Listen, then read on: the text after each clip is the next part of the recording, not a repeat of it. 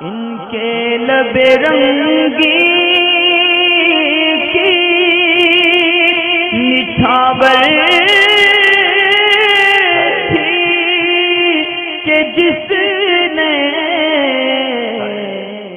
بنا رو، بنا سحری کے روزہ رکھنے سے روزہ ہو جائے گا یا نہیں ہو جائے گا، تو بنا سحری کے روزہ رکھنے سے بھی روزہ ہو جائے گا، مگر یہ کہ سحری کر لینا چاہیے۔ ایک تو یہ سنت مستحبہ بھی ہے، اور دوسرا یہ کہ حدیث پاک کے اندر، اس کے اندر برکت کا حکم ہے کہ سحری کل کی کل برکت ہے، اور سحری کرنے والوں پہ اللہ تعالیٰ رحمت بھی بھیجتا ہے، لہٰذا اس ثواب سے محروم نہیں ہونا چاہیے، سحری کر لینی چاہیے۔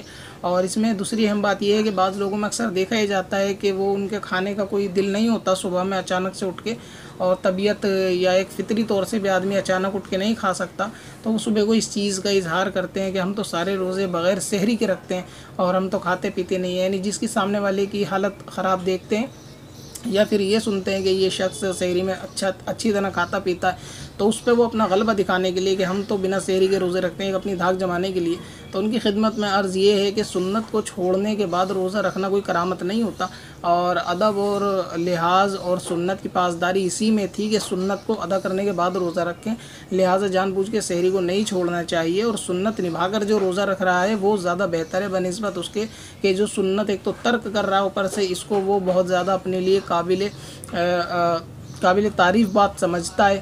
کہ میں نے سحری کو چھوڑ دی اور ہم سحری کے بغیر ہی روزہ رکھتے ہیں اور ہم تو بغیر بنا سحری کے ہی سارے روزے رکھ لیتے ہیں۔ تو یہ کوئی کمال نہیں ہوتا بنا سحری کے آپ روزہ رکھ لیتے ہیں تو یہ ایک سنت کو چھوڑ دینے والا مسئلہ ہے۔ لہٰذا اس چیز میں غور کر دینا چاہیے کہ ایک نبی کے طریقے کو چھوڑ کر آپ اپنی اس میں فضیلت کو ظاہر کرنے کی کوشش میں ہوتے ہیں۔ تو جو لوگ سحری میں روزہ رکھتے ہیں وہ درست ہے اور بالفرض کسی کی چھوٹ جائے، کسی مسئلے کے تحت یا نہیں کھا سکتا، نہیں کھا پا رہا۔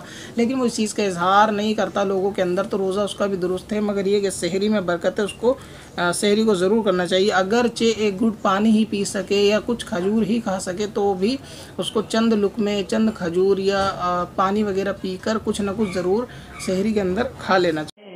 پتھر میں